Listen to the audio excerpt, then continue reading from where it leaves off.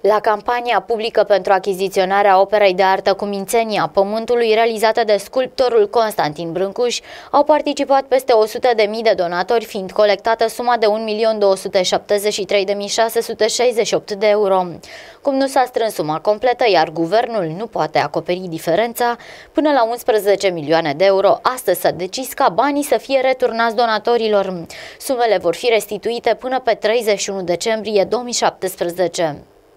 Guvernul a stabilit astăzi printr-o hotărâre mecanismul de restituire a donațiilor în condițiile în care ordonanța de urgență 10 per 2006 prevede faptul că în situația în care până la 31 octombrie 2016 statul român nu dobândește dreptul de proprietate liber de orice sarcini asupra operei cu mințenia pământului. Sumele colectate se restituie donatorilor. Hotărârea adoptată de guvern stabilește condițiile, etapele și termenele pentru procedura de restituire a donațiilor, precum și modelul cererii de restituire. De asemenea, reglementează modalitatea de suportare a comisioanelor, precum și a diferențelor de curs valutar aferente restituirii donațiilor, care vor fi plătite de la bugetul de stat prin bugetul Ministerul Culturii. Sumele colectate în lei vor fi restituite pe bază de ordin de plată din contul de responsabilități deschis de Ministerul Culturii la trezoreria statului sau în conturile în lei deschise la instituțiile de credit. Sumele colectate în valută vor fi restituite pe bază de ordin de plată din conturile în valută deschise din Ministerul Culturii la instituțiile de credit.